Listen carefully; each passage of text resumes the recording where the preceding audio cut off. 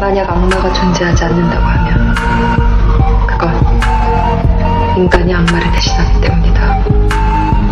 도스토옙스키. 때로 신념은